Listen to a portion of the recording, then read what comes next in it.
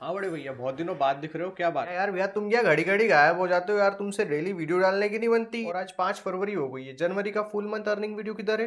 अरे हाँ बड़े भैया मैं उसी को एडिट कर रहा हूँ बस दो दिन में आ जाएगा वो। और तुम मेरे को एक बात बताओ तुमने सीरीज़ के शुरुआत में कही थी कि तुम हर दो दिन में वीडियो डालोगे आज आठ दिन हो गए तुमको वीडियो डाले वीडियो कहाँ है? अरे बड़े भैया आपको तो पता ही है यार कि वीडियो शूट करने के लिए दो फ़ोन लगते हैं मुझे तो मेरे पास सिर्फ़ एक ही फ़ोन था इसीलिए मैं वीडियो डाल नहीं रहा था और अभी भी इसीलिए नहीं डाल रहा हूँ पिछले आठ दिन से। पत्ती किसी और को देना मैंने देखा तुम्हारे वीडियो में तुम्हें दो दो फ़ोन चलाते हुए तुम्हारा एक हेलमेट पे लगा रहता है और एक से तुम आईडी चलाते हो।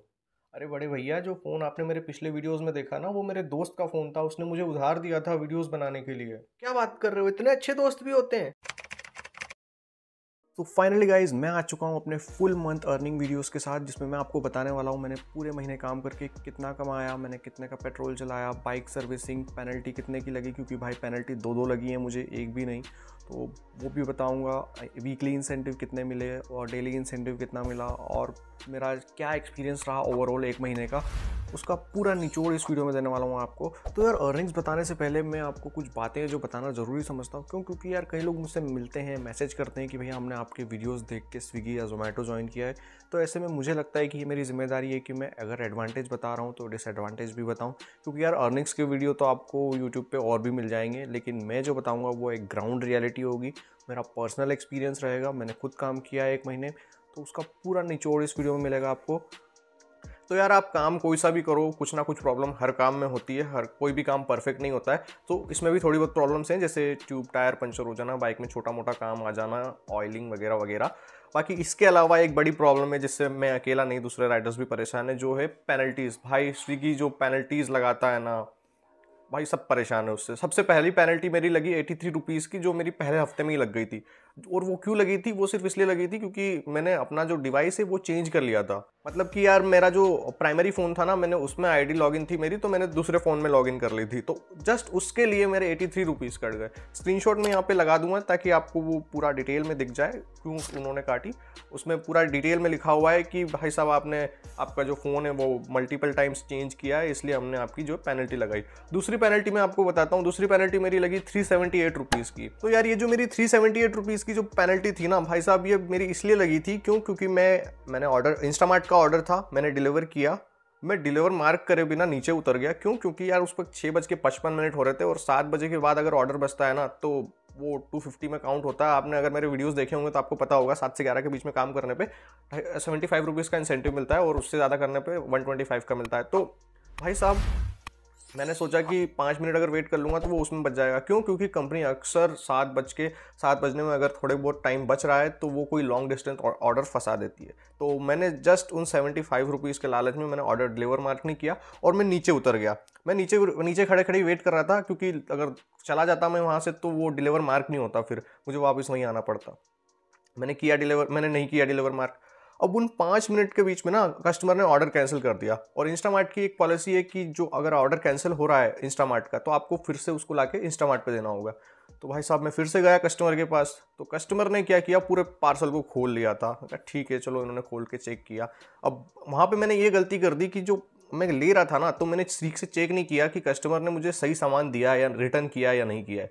वहाँ पे कस्टमर ने क्या किया कि जो ओरिजिनल सामान था ना, जो इंस्टामार्ट से आया था, वो रिप्लेस कर दिया अपने घर के पुराने सामान से, लाइक दो फेस वॉश थे तो उन्होंने अपने पुराने फेस वॉश, नए फेस वॉश से रिप्लेस कर दिए, एक्सचेंज कर दिए। मैं फिर से इंस्टामार्ट पे लेके गया तो इंस्टामार्ट पे लेके लेके गया ना तो इन्होंने साफ़ मना कर दिया कि ये हम नहीं रख सकते। अगर ये आपको फिर से कस्टमर को देना होगा। तो भाई साहब, मैं कस्टमर के पास गया तो कस्टमर ने साफ़ मना कर दिया कि नहीं भैया, ये मेरी, मेरा है ही नहीं, मैं यूज़ ही नहीं करती, ये मैंने मंगाया ही नहीं। और जो आया था मैंने वही दिया है। और ऐसे में ना यार, मैंने कस्टमर को बहुत समझाया कि मैम प्लीज़ ऐसा मत करिए, अगर आपने ऑर्डर वापस नहीं लिया और इंस्टामार्ट वाले भी नहीं लेंगे तो ये ऑर्डर मेरे पास रहेगा। और अगर ये मेरे पास रहेगा तो स्विगी को लगेगा कि मैंने कुछ फ्रॉड किया है और ऑर्डर कैंसिल कराने के लिए। और वो मेरी पेनल्टी लगा देंगे हैवी पेनल्टीज़ लगा देंगे। तो उन्होंने कहा कि मेरी कोई गलती नहीं है, सब आपकी गलती है और रूडली दरवाज़ा बंद कर लिया and she was female so I couldn't do anything और मेल होता तो भी मैं क्या ही कर लेता यार। तो आईडी बंद करी, सामान लिया, घर आ गया और उसके बाद दो दिन मैंने छुट्टी रखी रिकवर करने के लिए। बट हाँ वो एक वर्स्ट एक्सपीरियंस ऑफ़ लाइफ था। सो so, या ये पेनल्टीज़ जो है ना यार ये बहुत परेशान करती हैं और कस्टमर्स भी ऐसे ही करते हैं। मतलब परसों मेरे साथ एक और बार ऐसा हो गया कि कस्टमर ने क्या किया? ऑर्डर ले लिया मैंने ऑर्डर डिलीवरी भी मार्क कर दिया टाइम पे किया सब कुछ अब मैं आईडी बंद करके घर आ गया। मेरे पास फ़ोन आता है कस्टमर केयर का कि आपने ऑर्डर ही नहीं दिया है। मैंने कहा मैं तो नाम कन्फर्म किया मैंने रेस्टोरेंट का नाम कन्फर्म किया उसके बाद ऑर्डर दिया। ऐसे कैसे मैंने ऑर्डर नहीं दिया? कस्टमर कह रहे हैं कि आपने हमको ऑर्डर ही नहीं दिया। अब ऐसे में ना कस्टमर परेशान करते हैं और ये रात को बारह बजे की बात है। उन्हें लगता है कि राइडर के ऊपर चला जाएगा ये तो। हम हम ऐसा बोल देंगे कि राइडर ने तो हमें दिया ही नहीं, राइडर फ्रॉड कर रहा है।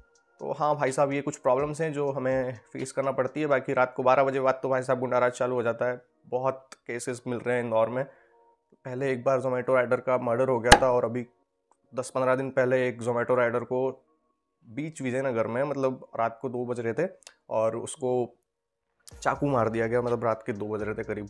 तो भाई साहब, रात के बारह बजे बाद इतना सेफ़ नहीं रहता है। तो हाँ ये कुछ प्रॉब्लम्स है जिनसे सावधान रहना ज़रूरी है और अगर कस्टमर या रेस्टोरेंट ऑनर आपसे रूडली बात भी कर रहा है ना तो भी आप कुछ नहीं कह सकते। क्यों? क्योंकि अगर आप आपकी कंप्लेन कर दी ना कस्टमर या रेस्टोरेंट ऑनर ने तो आपकी आईडी टर्मिनेट होगी या फिर आपको पेनल्टी लगेगी। इन दो में से, दोनों में से कोई एक काम होगा। क्यों? क्योंकि या तो कस्टमर सही होता है या रेस्टोरेंट ऑनर सही होता है डिलीवरी बॉय की नहीं सुनवाई होती भाई यहाँ पे।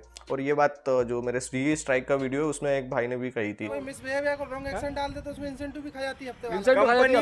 कंपनी कस्टमर और रेस्टोरेंट वाले की ऐसी सुन रही है राइडर की बिल्कुल नहीं सुन रही है। रेस्टोरेंट वाला बोलते कि राइडर गलत है तो राइडर गलत है। कस्टमर बोलते थे कि राइडर गलत है तो राइडर गलत है। सो या ये चीज़ मैं भी एक्सपीरियंस कर चुका हूँ। तो हाँ यार, ये कुछ बातें हैं जिनके बारे में आपको सावधान रहना ज़रूरी है और रात को अगर काम करते हो आप तो फिर तो सावधान रहना ज़रूरी ही है। बहुत हो गई बातें। अब चलो सीधा आपको ले चलता हूँ फ़ोन की स्क्रीन पे, जहाँ पे आपको मैं दिखाता हूँ अर्निंग्स और लॉग इन हिस्ट्री आपके सामने है मेरे फ़ोन की स्क्रीन और इसमें मैं आपको दिखाने वाला हूँ नौ जनवरी से लेके फाइव फेब तक का लॉग इन हिस्ट्री क्योंकि ये नौ के पहले का दिखा नहीं रहा है तो मैं उसका स्क्रीनशॉट लगा दूँगा। मेरे पास स्क्रीनशॉट है पहले का। सो दैट आपको पता लग जाए कि हाँ पूरे जनवरी में काम हुआ है। तो नौ से पंद्रह जन में भाई पूरा टाइम दिया है। देख सकते हो आप, नौ घंटे पैंतीस, नौ नौ नौ नौ नौ, और एक छुट्टी रख सकते हैं तो थर्सडे को एक छुट्टी रख ली। सैटरडे को साढ़े दस घंटे काम किया, ठीक है? और संडे का कहाँ गया? संडे का ये रहा संडे का ऊपर ही है, ठीक है? उसके बाद ये हो गया फोर्थ वीक इसमें भी पूरा पूरा वीक लॉग इन दिया। और ये प्रीवियस वीक इसमें पूरा लॉगिन नहीं दिया क्योंकि इसी में लगी थी वो पेनल्टी और जिसकी वजह से मैंने काम नहीं किया। मैं दो दिन तक घर पे बैठा रहा और उसके बाद पूरा हफ़्ता बिगड़ जाता है तो देख सकते हो आप लॉगिन क्योंकि ऑर्डर्स कम आते हैं। अगर आपने दो दिन की छुट्टी रख ली ना तो आपको ये ऑर्डर्स देता नहीं है ठीक से। तो फिर ठीक से काम भी नहीं होता तो काम में मन भी नहीं लगता। इसी वजह से लॉगिन जो है यहाँ पर बिगड़ी हुई है। बाकी संडे को मैंने प्रॉपर लॉगिन दिया था सात घंटे का।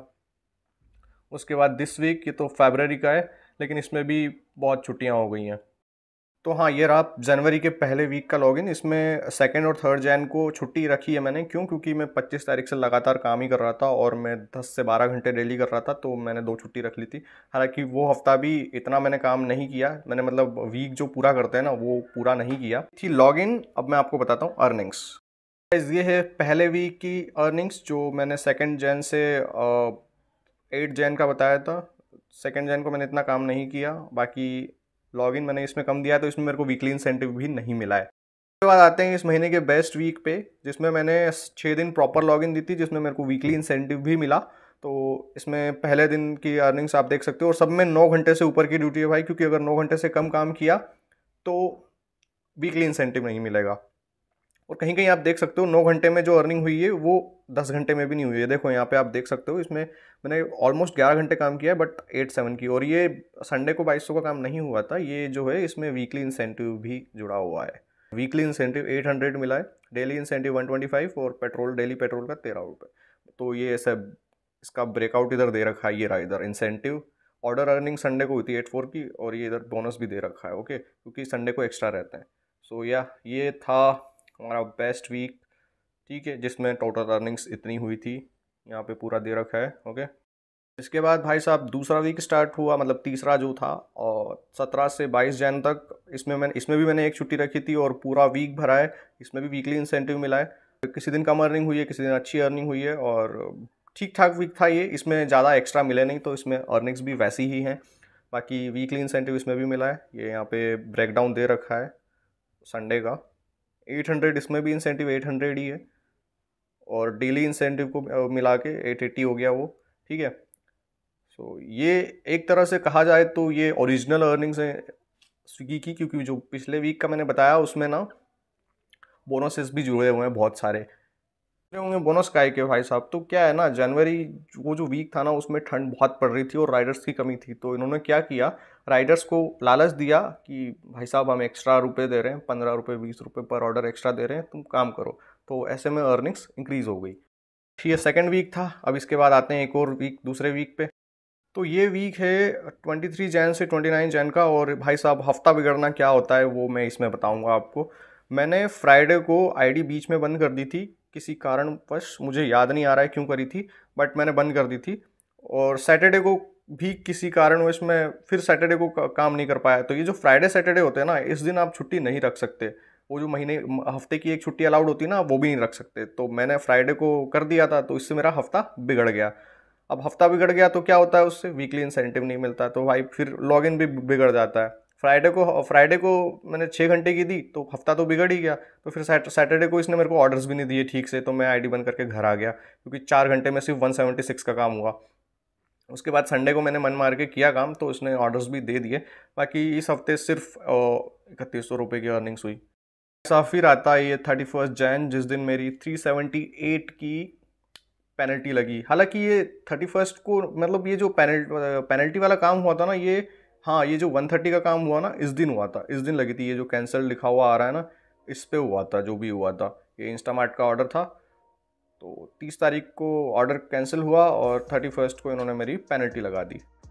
सो गाइस टोटल अर्निंग्स हुई हैं बीस हज़ार एक सौ चौदह की, पेट्रोल लगाया जिसमें चार हज़ार का बाइक सर्विसिंग में मान रहा हूँ हज़ार रुपये की, हालाँकि मैंने तो पाँच हज़ार का पूरा इंजन का वर्क करवाया था बट नॉर्मल अगर वर्क करवा रहे हो तो मैं हज़ार का मान सकता हूँ और मेरा खुद का खर्चा मैं हज़ार मान रहा हूँ। हालाँकि मैं करता नहीं हूँ बट पाँच सौ छः सौ का तो हो ही जाता है तो मैं उसको मोटा मोटा हज़ार मान रहा हूँ। सो या टोटल मिला के कितना हुआ? माइनस ही नहीं किया। तो भाई साहब टोटल हो रहे हैं चौदह हज़ार एक सौ चौदह, अगर मैं उसमें से छः हज़ार का खर्चा काट दूँ तो।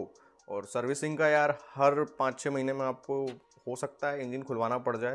हालाँकि डिपेंड करता है आप बाइक कैसे चलाते हो, आपकी बाइक का क्या है, कैसे केयर करते हो आप? अगर आप उसकी अच्छे से केयर करते हो तो आपको इतना लंबा चौड़ा खर्चा नहीं करवाना होगा। लेकिन यार बाइक मेरी दो साल से चली रही थी तो उसमें इसलिए पाँच हज़ार का इंजन खुलवाना पड़ा इंजन वर्क हुआ उसका। सो यस बीस हज़ार एक सौ चौदह में से हमने छः हज़ार माइनस कर दिए तो चौदह हज़ार एक सौ चौदह बचे टोटल और बाइक सर्विसिंग यार, आप आपके हिसाब से देख सकते हो, और पेट्रोल भी आपकी बाइक के हिसाब से ही लगेगा। मेरी बाइक पचपन, साठ, पैंसठ तक का दे देती है एवरेज आराम से तो मेरा चार हज़ार का ही लगा। अब डिपेंड करता है आपकी बाइक कितना एवरेज देती है। क्योंकि यार बाइक ना रोज़ कम से कम अगर फुल टाइम जॉब कर रहे हो नौ घंटे की तो कम से कम 130 किलोमीटर तो चलेगी ही चलेगी। मतलब सौ से ऊपर तो जाना ही जाना है 120, 130, 140 इतना तो चलेगी ही चलेगी। और इसमें मेरा पेट्रोल 200, 210 का डलवाता था मैं और उसी में मेरा काम हो जाया करता था। सो या एवरेज तो मेरी बाइक का अच्छा है। So that's it for the video I hope आपको वीडियो पसंद आया होगा और यार एक छोटा सा वीडियो बनाने के लिए मुझे पूरे महीने काम करना पड़ा है। सो so, एक लाइक तो कर देना यार इसके लिए। हालाँकि मैं कभी कहता नहीं हूँ लाइक वाइक कर देना बट इच्छा हो तो कर देना अगर अच्छा लगा हो तो। अदरवाइज़ योर चॉइस फिर होती है मुलाकात अगले वीडियो में।